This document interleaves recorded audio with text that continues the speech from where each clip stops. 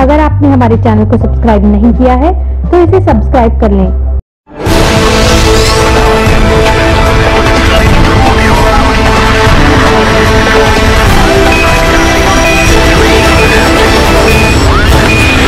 बठिंडा में आज anganwadi worker union की ओर से मिनी सचिवालय के बाहर धरना लगाया गया। इस बारे में आंगनवाड़ी वर्करों ने कहा कि पंजाब सरकार ने जो आंगनवाड़ी वर्करों से वादा किया था, अपने वादे से मुकर रही और केंद्र सरकार ने उनके भत्ते में सौ रूपए का बढ़ोतरी की है, लेकिन पंजाब सरकार ने बाकी की बढ़ोतरी करने से इनकार कर दिया। इसी को लेकर उन्होंने मिनी सचिवालय के बाहर जाम लगा है और पंजाब सरकार से मांग की है वह आंगनबाड़ी वर्करों की मांगे पूरी करो नहीं तो आगे आने वाले दिनों में संघर्ष तेज किया जाएगा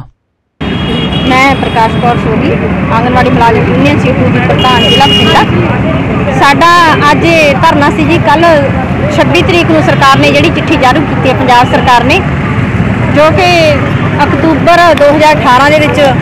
ਕੇਂਦਰ ਸਰਕਾਰ ਵੱਲੋਂ ਅ, ਆਂਗਣਵਾੜੀ ਮੁਲਾਜ਼ਮ ਜੂਨੀਅਰ ਆਂਗਣਵਾੜੀ ਮੁਲਾਜ਼ਮਾਂ ਦਾ ਮਾਨ ਭੱਤਾ 1500 ਰੁਪਇਆ ਵਰਕਰ ਤੇ 750 ਰੁਪਇਆ ਹੈਲਪਰ ਵਧਾਇਆ ਗਿਆ ਸੀ, ਜਿਹਦੇ ਵਿੱਚੋਂ ਕਿ 60% ਕੇਂਦਰ ਸਰਕਾਰ ਨੇ ਦੇਣਾ ਸੀ ਤੇ 40% ਪੰਜਾਬ ਸਰਕਾਰ ਨੇ ਦੇਣਾ ਸੀ।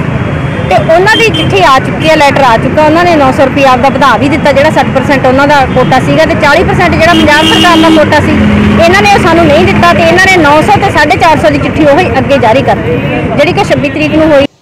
न्यूज़ के लिए कैमरामैन कपिल शर्मा के साथ अनिल कुमार की रिपोर्ट बठिंडा अगर आपने हमारे चैनल को सब्सक्राइब नहीं किया है तो इसे सब्सक्राइब कर लें।